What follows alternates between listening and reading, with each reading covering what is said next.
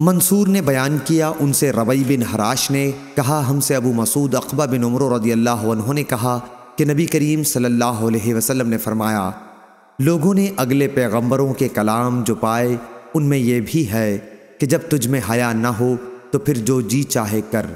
सही बुखारी हदीस नंबर तीन हज़ार चार सौ तिरासी। मंसूर ने बयान किया, उन्होंने कहा, मैंने रबई बिन हराश से सुना वो अबू मसूद अंसारी रदी अल्लाह से रिवायत करते थे कि नबी करीम सल्लल्लाहु अलैहि वसल्लम ने फरमाया, अगले पैगंबरों के कलाम में से लोगों ने जो पाया, ये भी है कि जब तुझ में हया ना हो, फिर जो जी चाहे कर। सही बुखारी हदीस नंबर तीन हज़ार चार सौ चौरासी।